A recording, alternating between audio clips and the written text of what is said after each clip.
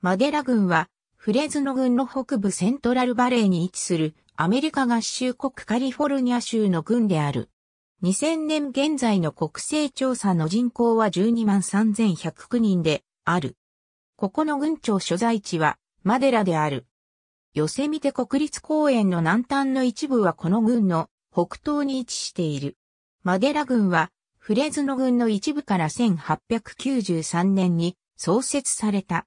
スペイン語のマデラは W、ティンバー、または W、ランバーという意味である。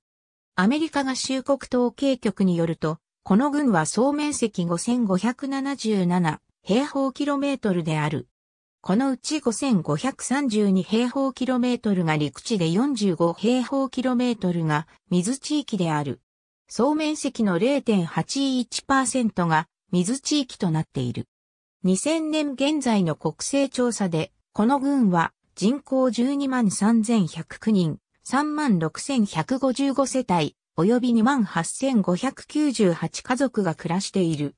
人口密度は22平方キロメートルである。7平方キロメートルの平均的な密度に4387件の住居が建っている。この郡の人種的構成は白人62.23%、アフリカンアメリカン4.12%、先住民2.61%、アジア1.27%、太平洋諸島系0.17%、その他の人種24.35%、及び根血5.25%である。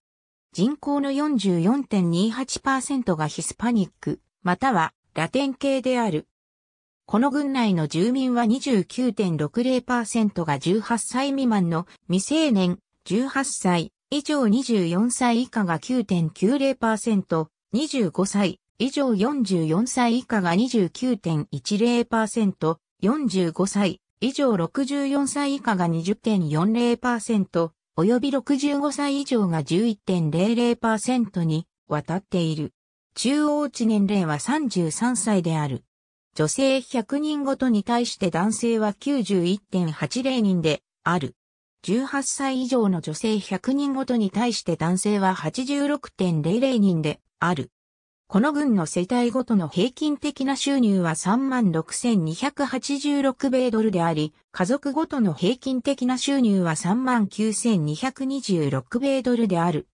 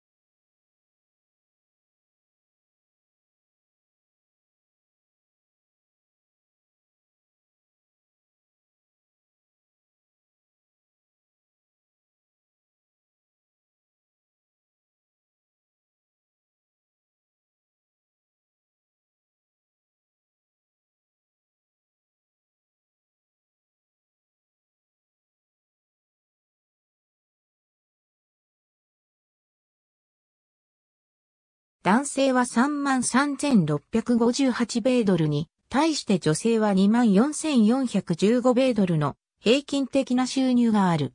この軍の一人当たりの収入は14,682米ドルである。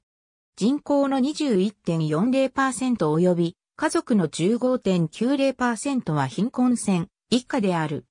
全人口のうち18歳未満の28.60%、及び65歳以上の9.00%は貧困線以下の生活を送っている。